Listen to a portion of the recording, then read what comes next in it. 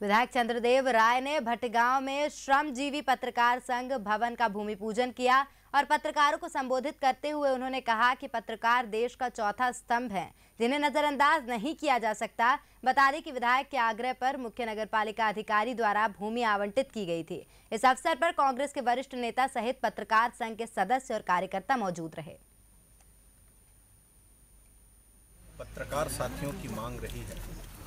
कि विलायगढ़ विधानसभा में आ, मीडिया से जुड़े हुए साथियों की वर्षों पुरानी मांग रही है कि प्रेस क्लब बनना चाहिए। और जब मैं चुनाव जीत कर आया सारे साथियों ने मेरे पास एक प्रस्ताव रखा कि हम पत्रकारों का भी एक छोटा सा भवन आपके सौजन्य से, आपके निधि से अगर हो जाता तो निश्चित ही हमारा भी सम्मान होता, आपका भी सम्मान होता और हम लोगों को एक प्रेस क्लब के माध्यम से हम लोगों को बैठने का और क्षेत्र की समस्याओं का समाधान हेतु प्रकाशन करने का, समस्याओं का प्रकाशन करने का मांग हो या समस्या हो, उसके लिए हमको एक उचित साधन, संपन्न साधन की ज़रूरत पड़ती है।